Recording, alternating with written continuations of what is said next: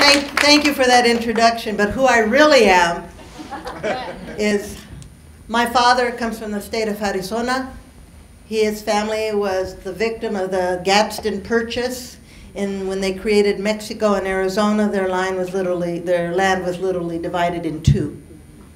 And they had to choose which side of the border they would live on. My mother's family immigrated following the Mexican Revolution of 1910 to San Pablo, San Pedro as everybody calls it, San Pedro, California, um, because the revolution had uh, made education and other things impossible. No doubt they came over as undocumented, and I turned out all right. so I want to offer, uh, so those are my beginnings. I think it's always important to locate ourselves in these conversations. And I want to thank you all for coming. It's the last item on the agenda. I was hoping for two people, so I'm really glad that so many of you are here it, it tells me about your own commitment and the work you're doing. And I have to say, I am very impressed with what I've learned the last couple of days here. I think it was a rich agenda. I think the topics were timely and important, etc. So I wasn't sure what I was going to say this afternoon. But I do want to thank the Planning Committee for inviting me uh, to Minnesota, a place clearly where I've spent some time, to share some remarks addressing your theme strategic leadership in diversity, equity, and inclusion as it relates to college and research libraries. And I'm very pleased to see the entire co conference that is devoted to this particular topic, especially since libraries, I believe, especially research libraries, are critical hubs of intellectual and cultural engagement, places where all can come together to discover and share knowledge and create new knowledge. You may be familiar with the concept of contact zones, spaces in which people from a variety of backgrounds come together to pursue a common endeavor or goal, and in doing so, create affinity spaces where their differences collide or intersect, intersect to create something new and also a common ground. A library, a research library, especially an academic research library, is just this kind of space, I think whether that space is digital or, for lack of a better word, real. And despite the continuing dominance of what we know as the Western canon or Western thought, knowledge is not, nor has it ever been, monocultural or monodisciplinary. Over the past half century or so, the, this dominance has given way, at least to some extent, to new knowledge and new ways of uh, apprehending and thinking about the world, or comprehending and thinking about the world. And yet, much of the slowly encroaching new knowledge has yet to find its rightful place in the academy.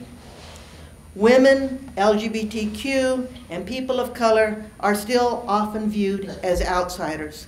And still, we must often fight to be seen and heard. That's why this gathering is so important.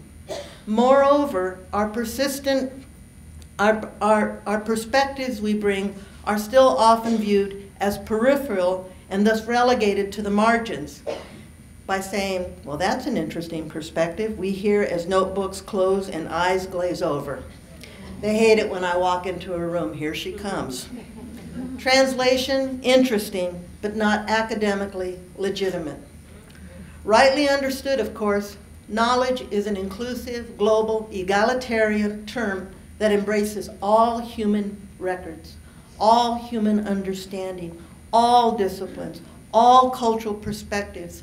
It encompasses the ideas, the histories, philosophies, and literature of people, culture, and habitats the world over. And it is never static. Knowledge is always under construction, a work in progress, if you will especially as new technologies break through boundaries and open up new worlds. Scholars and researchers break out of disciplinary silos and interact more and more with each other from around the globe to bring their stories, their histories, their previously absent cultural perspectives to this storehouse. And in that sense, I think it is fundamentally interdisciplinary and also multicultural.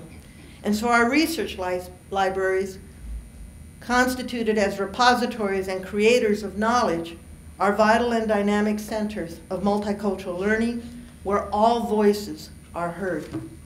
Our libraries are us. They privilege no one and everyone. and for the legitimacy of knowledge, distinguishing it from fake news, for example, that's a determination to be made not by the power hierarchy, but in explorations and searching, open mind ended conversations across disciplinary and cultural boundaries. You know, when I was first invited to speak today, I thought about what I might say, and I went back in my memory to the 1970s at the University of Iowa, where I was the only queer Chicana tackling graduate work. I mention this because the library saved me in a very special way. At Iowa, I felt an isolation that I had never experienced before. I was hungry for validation and connection that I went to the library seeking it. There I found solace and good company in my study, carrel, on the third floor and in stacks where I could escape into my research, reading, studying, and writing. It was there that I found some inkling of diversity in the writings of, of my people Spanish speaking, as we were called back then, every 10 years they call us something different. Spanish speaking and native people. Those writings were very few and far in between, but they were there, calling to me.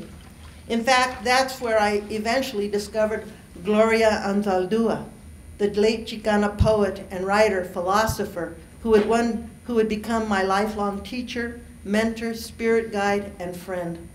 And so in a way, the library became a kind of intellectual and spiritual home for me, a safe space where I could wander through the stacks as we did back then and find friends and kindred spirits in all those pages.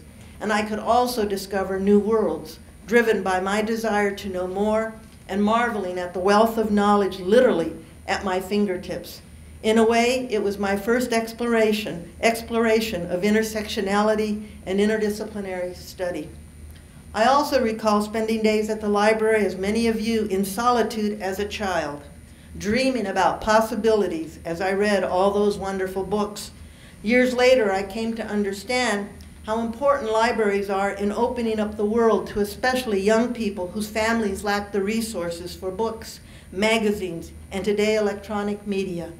I would argue that the magic of libraries were critical not only to my education, but also to develop me my sense of self and identity. Libraries were both refuge and a guide. They helped keep me rooted and safe while also giving me the courage and the resources to explore the unknown. They gave me a kind of roadmap for the journey toward the work I still do today. You know, when I was working on my master's degree and my dissertation about Chicanos, Chicanas in education all those years ago, I found nothing about Chicanos in the Midwest or about the U.S. Spanish-speaking population, at least certainly not from a Latino-Latina perspective. The canon was a reflection of the dominant culture both in and beyond the academy. There were some early work by the late sociologist Julian Samora at Notre Dame, and also some work by the historian Louise Año Nuevo Kerr at the University of Illinois Chicago. But outside of that, there was very little. So I went to the reference librarian to order books by and about Spanish-speaking people, hoping that something out there was about Chicanos. And that search led eventually to section E184M5, where I found a few references addressing Spanish-speaking population, although none to the Chicana-Chicano experience, which had not yet entered the American lexicon. And as I continued requesting books, Section E184M5 grew, as did related collections on education, demographics, politics, and more. Any book I found, I ordered at the library, whether I used it or not. I wanted to build the library. It's a true story. There's, you know, they still remember me, unfortunately. No, it's okay. And yet, and yet, you know, even as the collections grew, what I found were crumbs by today's standards. The reference materials were only a tiny glimpse of the culture and the history of my people. Even as I wrote my doctoral thesis some years later, I was struck by the continued dearth of scholarly work to draw upon. Of course, there were no writings at all about Chicana lesbians. Those would come much later. At the time, there was only the white feminist discourse that was emerging in the more exclusive spaces of the academic borderlands, spaces at the time not very open to us, or to discussions on race and identity. or ethnicity. And so, in the few writings that I was able to find, I did find an academic home and a sense of community for my Chicana self. Those writings gave voice to who I was and a powerful language to express what I already knew deep in my heart and soul to be true. They gave expression and focus to my struggles, showed me my path, and gave me the courage to follow it. I'm just going to pause here to say something. This piece that I'm sharing with you is actually part of a residency that I did in Arizona. I've drawn a lot of material there and it's all being it's going to be in a book okay so i just want i should have said that at the beginning but i was so excited you know but now decades later because some of us now are writing the books we so long for the interrogate around the interrogations of identity race and gender power and privilege and multiple forms of oppression and resistance continue to create but resistance continues to create new understandings of who we are and those books are now generally found in most libraries today. In fact, it's the first thing I do when I go to a college campus to review their campus. I go straight to the libraries to see what's there. So we do now have a more inclusive canon, growing collections, and more faculty of color requesting materials from the libraries for their students and their own research, even contributing their own scholarly and creative work, something we couldn't even have imagined over 40 years ago. Whether that canon is acknowledged or not is another question. The texts in this canon often seem to be read and studied and shelved, only as ethnic studies relegated to the status of other, not woven into the central academic and cultural narrative. And yet, I'm happy to say the Academy is a very different place today than it was in my student days, and so are libraries. I've been struck by the important conversations of the last two days most of them driven by the overarching question that occasioned this conference. Despite all the progress, you ask, why have we not come further? And how can we develop new strategies for moving forward as we've been talking at our meals? By the way, the food's been great. You know, and I hope to share my belief, and I hope you share my belief, that libraries, which are public repositories of the world's knowledge, should be, the, should be at the very core of our efforts to diversify the academy and to provide the safe and welcoming and accessible environments to all students, staff, faculty, and the community. That a library, bricks and mortar or online, is a dynamic and accessible intellectual and multicultural space, as well as a space of sharing and reciprocity with broad interconnections across space and time with diverse communities. As they embark on learning and academic libraries are often the first places students find themselves as they embark on learning projects, whether in solitary reading and research or in study groups.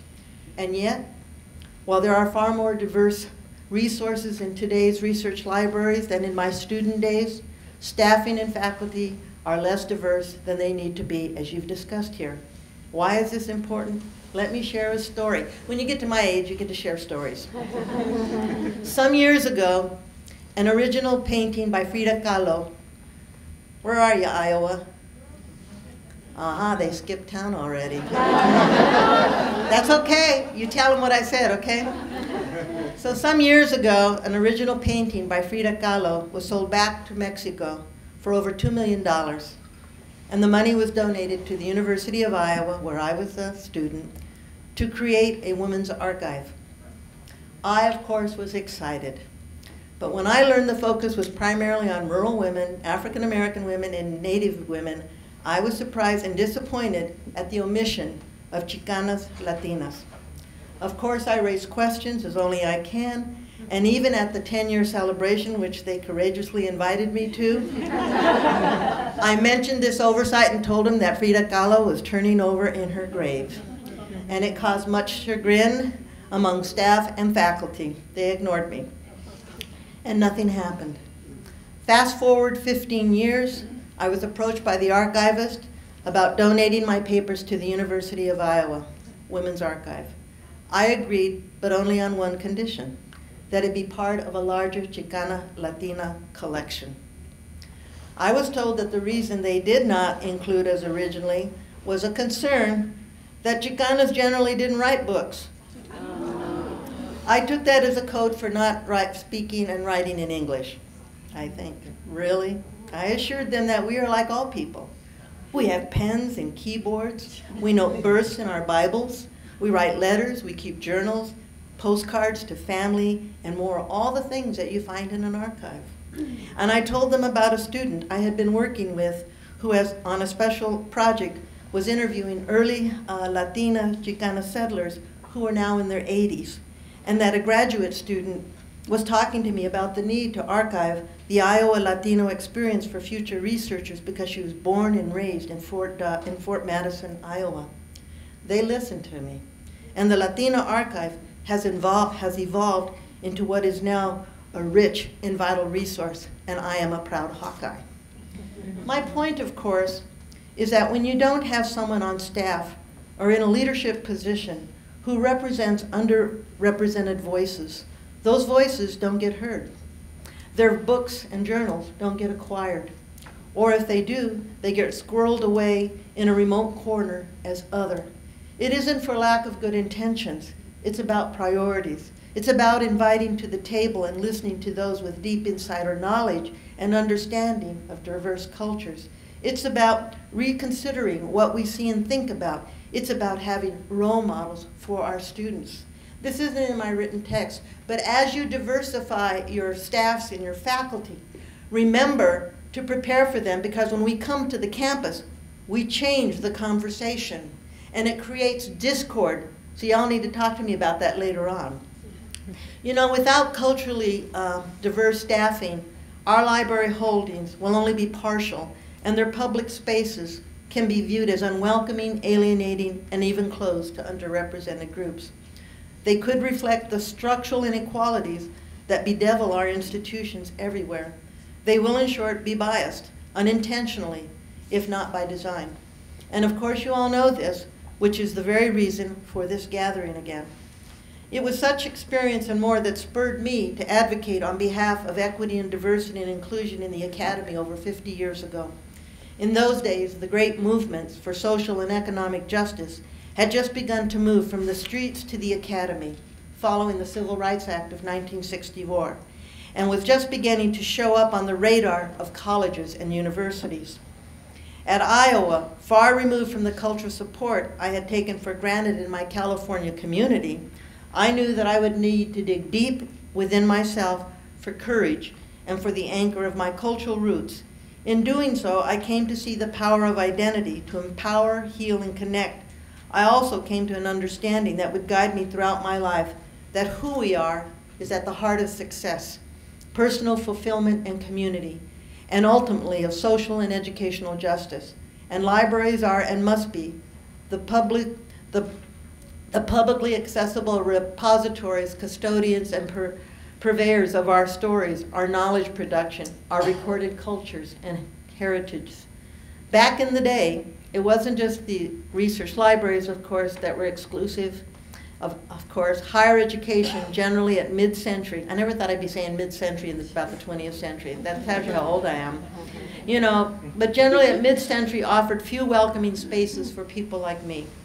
Communities of color and women especially were all but absent from the curriculum and professoriate. We didn't even talk about disabilities and the gay community then. And uh, we were and most of, when we were present on college campuses, only in low wages, non-professional positions.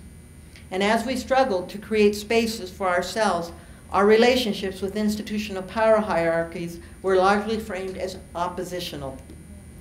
I was always told I was a troublemaker. You know, and as we moved in from the margins, we were not only trespassing boundaries, but challenging our institutions to be the inclusive and egalitarian citadels of academic freedom and democracy they were constituted to be. We were viewed with unease, in part because we were not, we were not into assimilating or to fit a pre-existing mode, but to create a new kind of academy, one that would include us while leaving, while leaving our identities, culture, and knowledge and systems intact. And the strict borders that had been constructed to keep us out became fluid and permeable. Our very outsiderness became a powerful catalyst for change, transforming higher education into the multicultural, interdisciplinary, more inclusive institutions we know today. Housing libraries replete with multicultural narratives because and only because we requested and sometimes demanded them. So where are we today? Our numbers are still too small, our scholarly work still marginalized to an extent, and our influence circumscribed. But we are everywhere, in classrooms, in departments, and research spaces, across the disciplines, and in decision-making roles, and of course, in libraries everywhere. Even though there might just be one of us, we're there. And as we struggle against a persistent and growing backlash, the good news is that we don't have to start from scratch.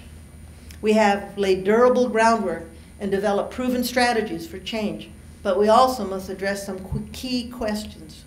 How do we harness what we know and what we've accomplished? The ideas, the passion, the energy, the alliances, the infrastructure to create something new and vital for the decades ahead. How do we work across cultures and generations, engaging everyone in this work? How do we welcome bold new ideas and nurture new and often dissenting leadership without repudiating the best of our work? How do we make ourselves listen to and learn from the emerging youth without feeling threatened and defensive? How do we stay engaged and pass on what we know? How do we make the work sustainable how do we recognize and measure the impact if we do or don't do this work? These are questions that, I, that we must address during these turbulent times on campuses nationwide, in both words and actions. For research libraries, it's not just about housing our books and making our histories and cultures accessible in the stacks or online. It's about legitimizing those histories and cultures as central to the academic narratives it's about foregrounding diversity, making it viable and visible in staff positions, training, and hiring staff and leaders who bring multicultural perspectives to the fore and who understand in the deepest sense the need to represent, give voice to, and offer safe, vital learning spaces for people whose stories and identities have for so many years been erased, silenced, subsumed, or distorted, presented only in passing as other. It's about harnessing the power of libraries on behalf of equity and diversity in ways that both reflect and transform our institutions and our world as it already has. We've come far, but despite our best efforts, transformation remains elusive and resistance strong. Especially in the past few years, we have seen in our institutions an alarming resurgence of hate speech and harassment. And we see persistent discrimination in pedagogies and curricula, hiring practices, and reward systems.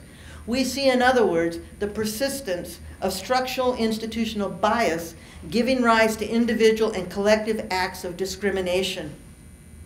To anyone who has believed that racism, misogyny, and homophobia are rare or are no longer an issue, I merely have to point to the rising tension on our nation's campuses around free speech and so-called political correctness. In fact, just last week, as I said yesterday, two Native American students from New Mexico were part of a group of high school students visiting a Colorado campus when a parent in the group reported them as suspicious because they were late and making her feel uncomfortable and afraid. They were detained and frisked. Let's cut to the chase. They were racially profiled. Of course, their mother is outraged and so are many others across the nation, and myself included. The college has apologized, but the damage done. Such indignities and affronts and worse happen every day, and what this reflects is a far deeper and more pervasive problem, just like those poor African American students who were pushed off the stage because they were celebrating as they walked across. You know, whether it's a denial of or indifference to bias and discrimination or outright resistance to diversity and inclusion, the attitudes that give rise to such outrage present enormous challenges to us. We cannot do our work in the bubble of higher education without being affected by the deteriorating national climate. As our country takes a sharper turn right with each passing day, we cannot even think about higher education with each we cannot even think about higher education without acknowledging the risk to all that we have achieved and the push the push to build both literal and figurative walls, the expulsions and deportations of undocumented immigrants, the terrible limbo for DACA students, the erosion of the rights for people of color and other marginalized groups, and so much else that puts at risk so much what we have achieved in the last 40 years. Meanwhile, on our campuses, ethnic studies programs, which probably have the largest representation of faculty of color, are facing serious challenges. I receive phone calls almost every day about it, and many of those that have survived are barely hanging on. Diversity programs are being downsized and cut. And even as they continue to fight for change, students, faculty, and staff of color and other groups often say they feel unsafe. Fortunately, I think we're all here to say that research libraries, again, can and must be a part of the solution. But we have some tough battles ahead. I don't know about you, but my feelings about all of this vacillate between concern and hope. I'm being nice. I know we just can't react with angry words. We need to act with courage and conviction and with confidence that we can make a difference, or I wouldn't be standing here. Our libraries and our institutions of higher ed are at a crossroads. They can and must be a bulwark against waves of regressive change that threaten to take us back a hundred years and erase the gains. Our immediate challenge is to reconstruct, rethink, and recharge. We need to address not only active resistance and backlash, but also complacency which often takes the form of seemingly benign but very destructive complicity in the convenient myth of a post-race, post-feminist world. The good news, the ferocity of the backlash owes much to the remarkable success of our work. They never dreamt so many of us would come to higher education. They never dreamt the changes that we see in higher education because of this work. Trust me, we have daycare at our universities, not because some president or board decided we needed it, because more women came to the academy, and the academy was transformed. And I can talk about advising centers in terms of how they were based on minority programs. I can talk about scholarship opportunities because of the diversity. I can talk about all the policies that protect our rights was because of diversity. And I'm going off script. And we never, and we never get the credit for helping to transform higher education to the benefit benefit of all people. So how do we continue to use equity and diversity as a transformational, tra as a strategy for continued transformation of our institution? That's what I'm about today. But let me go back on script. So, you know, doggone it. You know, on our campuses, one significant source of resistance to diversity has always been the idea that this work is political, not educational. And I'm, you know, I was one of those students back there and said, we have a right to be here, and we do. Of course it's political. If by political we mean actions that disrupt the status quo and engage people as change agents. It's also deeply personal to many of us. But more than that, it is a civic responsibility undertaken for the common good, pointing the way to new avenues of discovery and bringing to bear new and previously ignored cultural and theoretical perspectives. Again, our research libraries are central to this understanding. Without this work, we'd still be studying and teaching history, humanities, and the sciences, indeed all the disciplines, as if they were the exclusive province of Western thinking. One important task ahead of us now is to fundamentally change the prevailing conversation at all levels of our institution. Equity and diversity and inclusion are still far too often framed as problems to be solved, or even as a waste of resources peripheral to the academic enterprise. On the contrary, it is central to the educational mission of our institutions. There are educational imperatives and an investment in learning and discovery. We are a value added. We need to focus then on systemic change, infrastructural change, with important educational outcomes for the institution and for all who have a stake in higher education. The late Molly Ivins said, the thing about democracy, beloveds, is that it is not neat, orderly, or quiet. It requires a certain relish for confusion. And that is nowhere more true than on our nation's campuses, as diverse cultures, disciplines, departments, including our libraries, compete for shrinking resources and openly contest priorities. Scarcity produces discord among disparate groups seeking resources and recognition. Our charge as educators is to help our institutions navigate this contested ground and find solutions that encourage constructive airing of differences. All of us have a stake in this work, whether in our libraries, our classrooms, in the political arena, in the halls of justice, in our communities within and beyond the academy, It's our responsibility to do everything we can to close the gaps, to open the doors to learning and advancement, to make our institutions and our libraries safe and vibrant living and learning spaces for all. What happens to communities of color, the GLBT communities, people with disabilities, people at the bottom of the economic ladder, immigrants, religious minorities, happens to all of us. We are all implicated. We all feel the shock waves when someone is assaulted by hate speech, when shooters gun down students, or when someone is prevented or discouraged from voting, is unable to work for a living wage, fails to finish high school, or is profiled during a campus visit. That is why it is important to negotiate with great care not only the spaces where new ways of knowing and being intersect and clash with the prevailing academic culture, but also in at the intersections within and among ourselves, within, with our multiple and sometimes contending identities and priorities. We must understand what we are up against decades, even centuries, of deeply entrenched institutional norms and practices, and recognize that our own differences are both the fallout of that history and an opportunity for change. The differences that are at the core of this work make it imperative that we build different institutional and cultural spaces for the very different needs of these groups of people. We cannot expect people of color or women or LGBTQ disabilities to relinquish their ways of knowing and being as if they don't matter.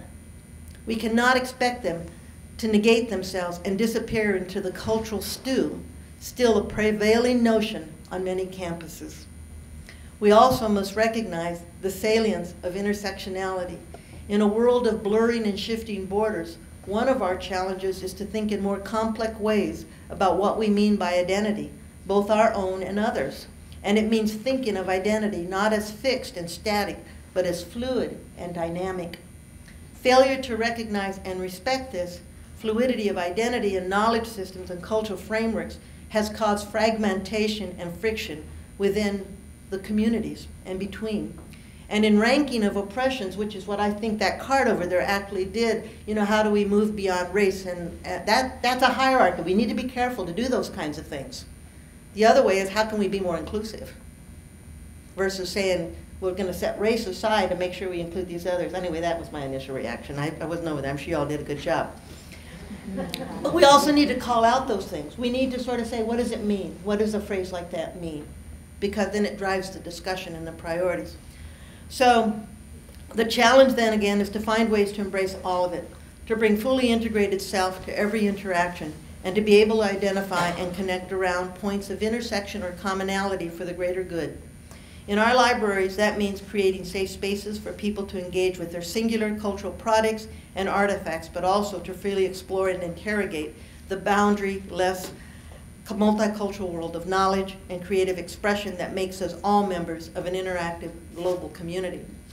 In her book Borderlands, La Frontera, the late Gloria Anzaldúa conceptualized the borderlands as a place of both tensions and learning, also of intersectionality, although she didn't use a term. The concept of borderlands is central to my own understanding of how we might successfully approach this work. And it also can be a guide to how we think of and create library collections and spaces. As our libraries, indeed our entire cultural and political landscape, continues to be challenged and transformed by the values, languages, and cultures of people deemed to be outsiders, we need to ask, how do we open our doors to them without expecting them to leave behind their identities? How do we address the mindset that equates Middle East and Islam with terror, or Black Lives Matter with violence, and the myth of reverse racism? especially at a time when race hatred has regained a foothold in our government and on the national consciousness. How do we follow through on our promise to build bridges, not walls, among all of the marginalized communities of our institutions? Sadly, for far too many, immigration and people of color constitutes an attack on cultural norms that many believe to be fundamental to the American way of life. Borders, they argue, and walls to secure those borders are needed to protect our country from people who are so different from us. Such binary thinking has no place in the borderlands, and it certainly has no place in our institutions.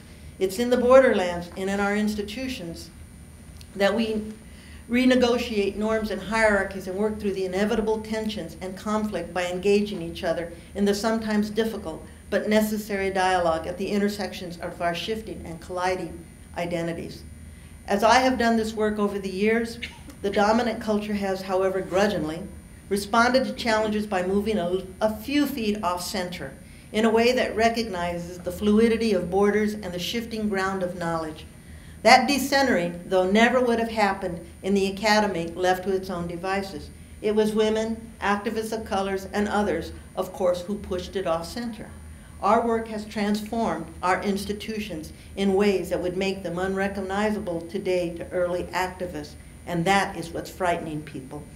Our journey of transformation that began those all those decades ago has made us more visible and given us a voice. Here I am standing. Whoever thought I would have been a president? All but one that sometimes goes unheard. It has brought into the academy our histories and cultures, and it has created a place for academic study and preservation of what we know and who we are.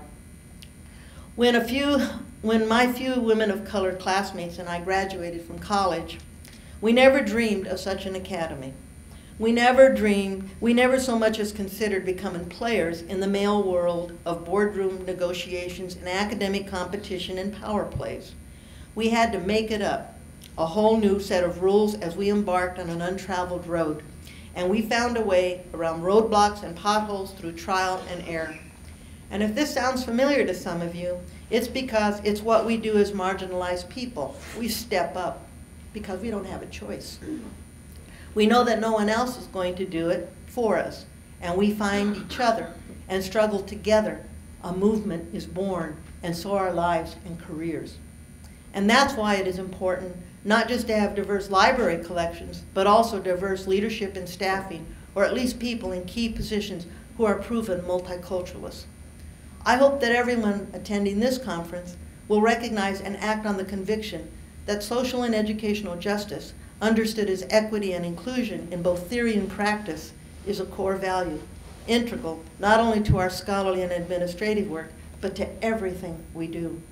And that we will continue to interrogate not only our institutions, disciplines, libraries, and social and economic systems, but also ourselves. I don't care how you cut it. If you don't deal with this stuff on the personal level the way I do every day, we will be having this conversation every year. So we have to examine our own biases. Every person in this room, including myself, has a bias. And we need to start calling it out. And if I didn't make some of you feel uncomfortable in this room, then I failed you. I never believed for a moment I preached to the choir. Never. I never have believed, even as a president, I was ever at the table. And I have never believed I have ever been a token. I'm a token only if I act like one. This is why my partner didn't want me to give speeches at night because I don't go to sleep. You know.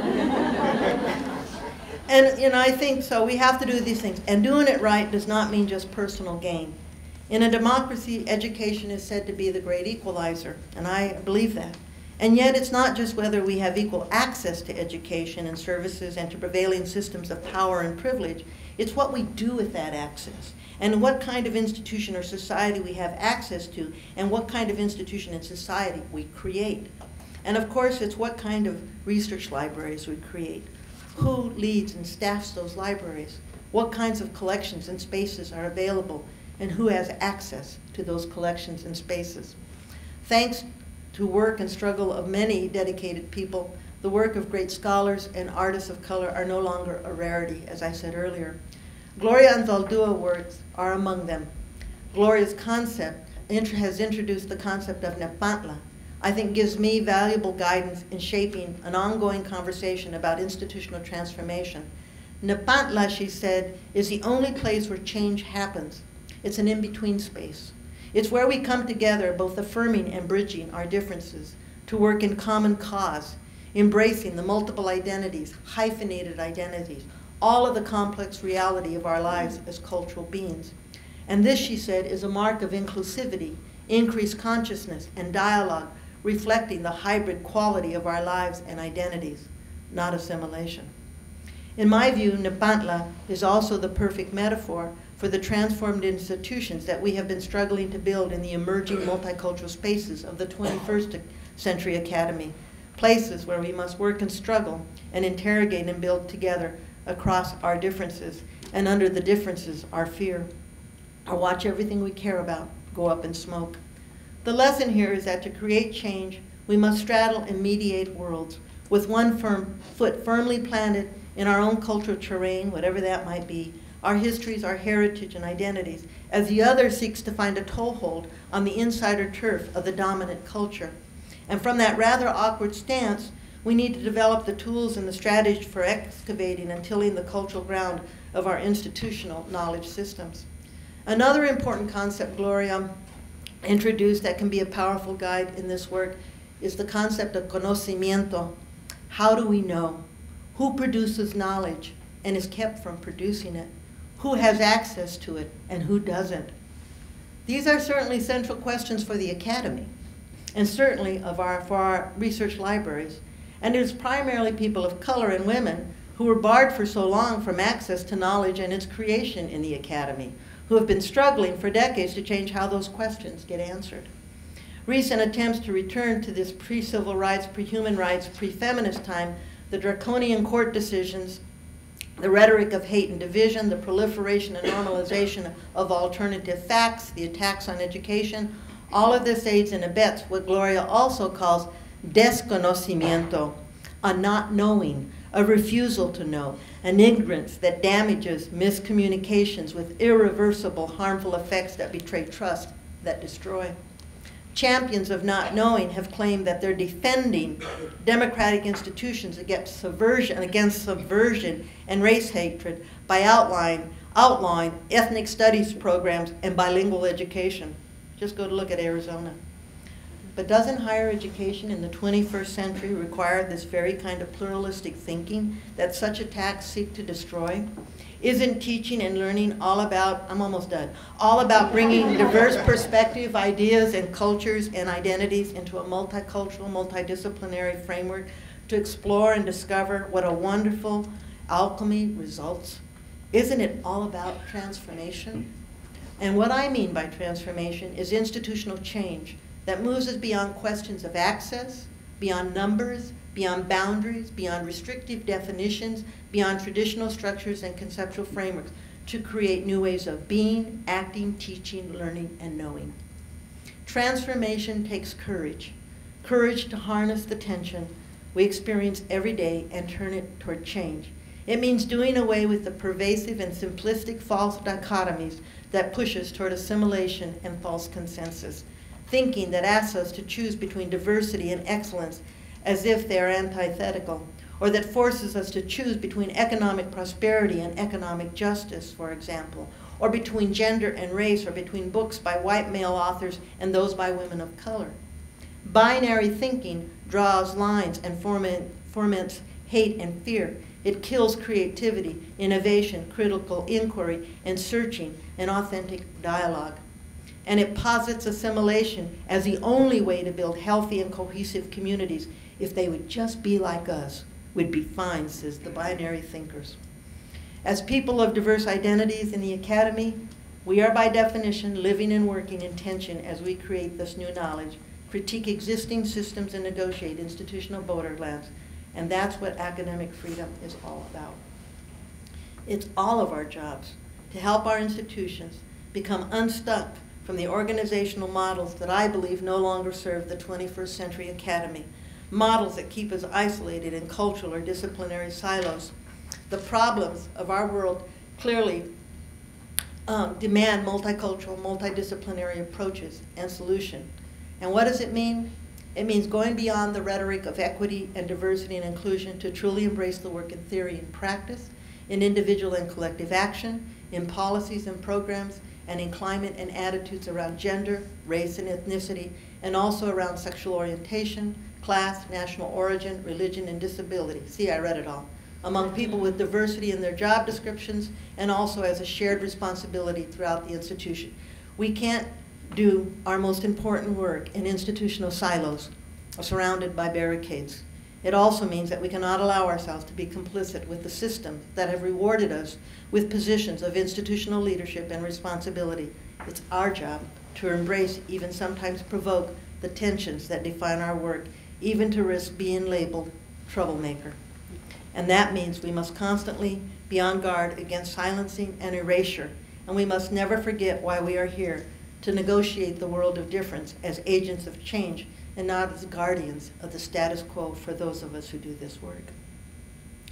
Yes, research librarians have always been the guardian of certain traditions, acquiring collections, creating archives, preserving and disseminating the literary, scholarly, and creative work of the ages.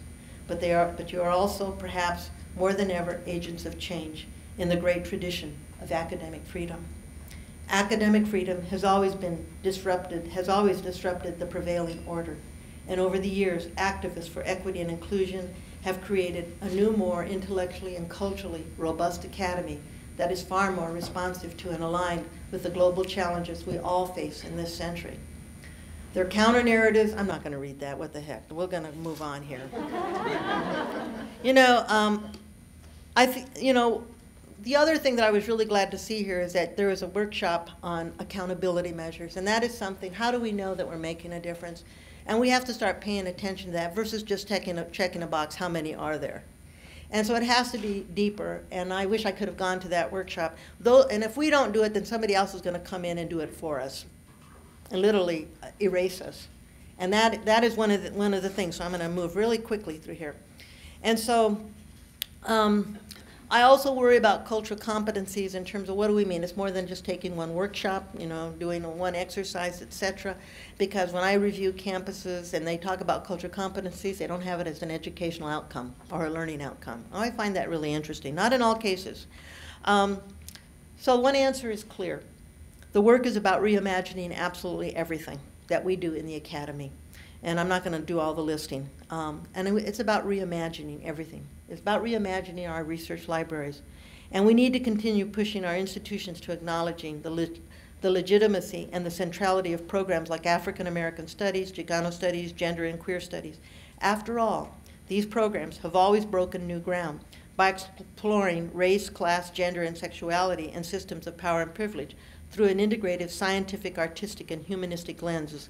And they were the precursors of, of and models for the kind of interdisciplinarity and civic engagement that are now staples of academic life at universities throughout the country. Their content, conceptual structures, methodologies, and theoretical foundations infuse research teaching throughout the academic enterprise. And it is that reality that makes this work a national imperative too often we look at this work only within the context of our institutions, our individual campuses, and not as a national imperative. In the same way we look at research about health, which affects the world. We are connected. It matters what happens at the University of Michigan to me. If they're not graduating PhDs, I don't know who I'm going to draw from for a diverse faculty and staff. So it matters, and so we need to start having that. That's why these kinds of national gatherings are so critical to this work. So I would hope that as you, you'll recognize that this ongoing struggle for social and educational justice as a civic responsibility, not just a political action or subject to scholarly inquiry. And I hope that you will agree to advance this educational justice wherever you are, and not only in your classroom, and in your jobs and offices and libraries, but also in your lives. And I'm going to leave you with something because what we've done, we've created something new a good friend of mine, Aurora Levins Morales, a Puerto Rican, wrote this incredible poem that I'd like to end with. And then I'll take some questions if there's time. Child of the Americas. I am a child of the Americas, a light-skinned mestiza of the Caribbean, a child of many diaspora, born into this continent at a crossroads. I am a Puerto Rican Jew, a product of the ghettos of New York I have never known an immigrant and the daughter and granddaughter of immigrants. I speak English with passion. It's the tongue of my consciousness, a flashing knife blade of crystal, my tool, my craft. I am island grown. Spanish is my flesh, ripples from my tongue, lodges in my hips, the language of garlic and mangoes, the singing in my poetry, the flying gestures of my hands. I am Latino America, rooted in the history of my continent. I speak from that body. I am not African. Africa is in me, but I cannot return. I am not Taino. Taino is in me, but there is no way back. I am not European. Europe lives in me, but I have no home there. I am new. History made me. My first language was Spanglish. I was born at the crossroads, and I am whole. Thank you all very, very much.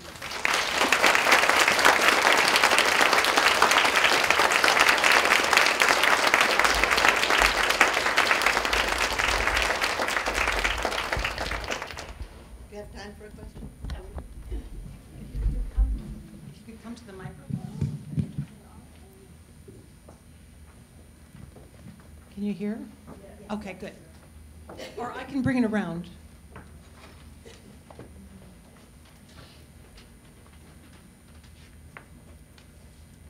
I forgot to tell you, I, I am optimistic in spite of the talk, okay? I really am optimistic, okay? Question? I'll ask one. I'm your mic here. Um, you talked about the dynamics of immigrants and uh, there is going on around the world. I mean, people have been moving around for millennia, but there is constantly this new wave of we don't want the immigrants. So, especially in the U.S., where everybody prides themselves as for their heritage and coming from a different place, how do you explain this new wave of uh, kind of resistance towards immigrants?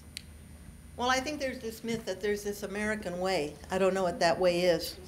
And so I think people believe that when we have more immigrants, it, it's going to somehow destroy that American way of, of living. Um, and so there is a fear. I mean, you know, we always talk about the Statue of Liberty as welcoming, you know, our, the meek and our mild, but we don't have the Statue of Liberty down by Mexico. What does that mean?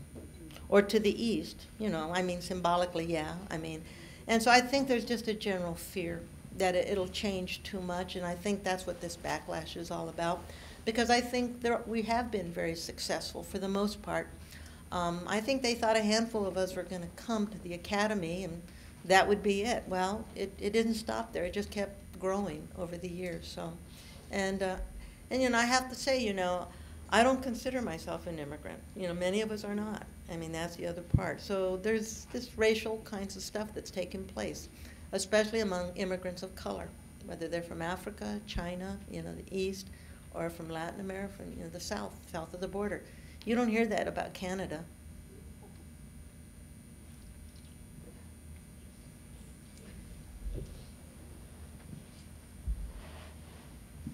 Hi. So um, Now you know why I exercise every morning. you're awesome. Let the record show. She's down there every day. No. No. Um, so, I- first of all, thank you for everything, but uh, particularly your story about um, finding solace and intellectual and personal kinship in the library was very moving. It reminded me of why I chose this profession. I often, at my age, I often think, wow, there's nothing left of the work that we did when I entered the profession, but that that remains. Providing th- that opportunity to connect with identities and ideas over time is what brought all of us to this work. Absolutely. So, obviously, as an educator and a researcher and a writer, you're very familiar with libraries. But I'm wondering if you heard anything in the last couple of days that surprised you about us as librarians of this place and with this passion. What did you hear that took you by surprise? Do I have to confess? Y- yes. Y'all, y'all disputed my stereotype I had of you. Um, they, these were very engaging and progressive kinds of discussions that I heard. Y'all were challenging each other, and that gave, that's what gives me hope when you all have these kinds of conversations. So um, I think it really defied what I know, and that's how come I think things are in good hands, that I can actually retire one day. So thank you for that question, though. Thank you.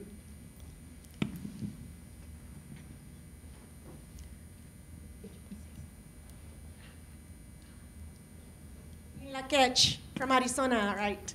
I'm very excited to have heard your talk, Dr. Barceló, and I want to ask you this because I, um, on a committee of women uh, of color, um, the faculty members, and we are now, we have the ear of our, our president. He's new to us. He will have been here for a year in July. At U of A? At University of Arizona, yes. And so um, he was interesting because we just got a diversity officer for the campus not, not more than two years ago, and he's leaving. We don't know why. Some, so there's stuff going on. We're not all privy to it. So this last week, we had a meeting with him as the um, faculty of women. We came together very quickly. We've had this ongoing agenda that we've been working on. We recently got the designation of a Hispanic serving institution, and we're like, okay, what do we do with this now? Exactly. So um, I just kind of flew like a mosca, you know, and I said, that's a fly. And I said, because we're losing our officer, right, of diversity, and we were just kind of spinning our wheels. And I said, you know, I think right now is the opportunity to not just talk about our, our position and our campus wide um, diversity office, but we have to look at it as an opportunity. And I'm thinking more of a of center of research in diversity and inclusion and equity. So can we have that conversation? And the president said, this is the best idea I've heard probably in a long time. So we have him, and I want to talk to you whether it's here now or engage with you at some point because he because the women all of a sudden started like the emails just just blew up. So we need to talk. absolutely. You know, one of the things though, as as different institutions um, create these positions on college campuses, oftentimes they're poorly resourced and staffed and um, they're not given authority, uh, et cetera, to do as much as they need to do. In fact, that's why I'm at Illinois. I'm building them an office. I'm, you know, we're trying to pull things together, and it's it's an investment for the future. So it's very important that they be resourced correctly, and that'll vary, of course, from institution to institution, given culture, given all, all many many factors. But um, so I belong to a group of national chief diversity officers, and this is what we're focusing on.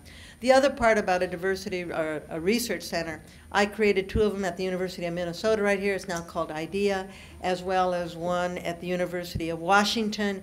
And what it did, I um, I sent out a letter here in Minnesota to 100 to all the faculty, all four or five, how many, a lot of faculty. And I said, and the message was simple. Anybody interested in helping me on diversity, please come to this dinner on, a potluck dinner, potluck I said, a potluck dinner on Saturday night. It was minus 30 degrees or 20 degrees that night, and I said, ain't no faculty coming to this meeting tonight.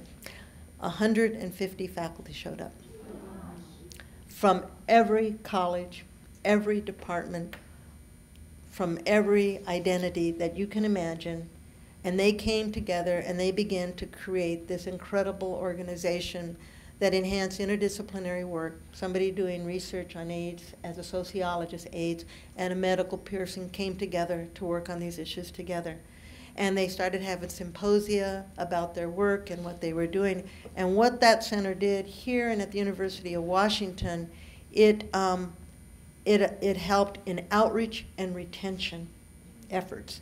And um, and I did not, how can I su say, superimpose my, you know, I'm kind of strong, you know, so it was hard for me to stay out of it, but they need, it needed to be organic, and it really worked. So I'm a, a strong proponent of that. In fact, I'm proposing that very thing at the University of Illinois because it is critical.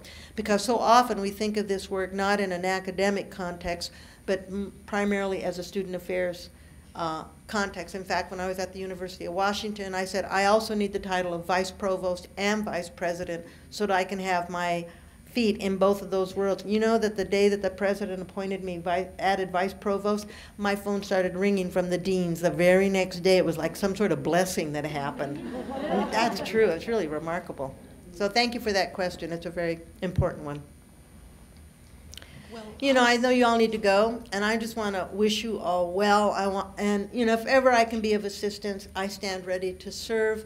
Um, this is exciting work, um, and I, I compliment you and commend you all for what you have done, for your incredible discussions. You've educated me in a fundamental way, and I will take that with me. Thank you all very, very much.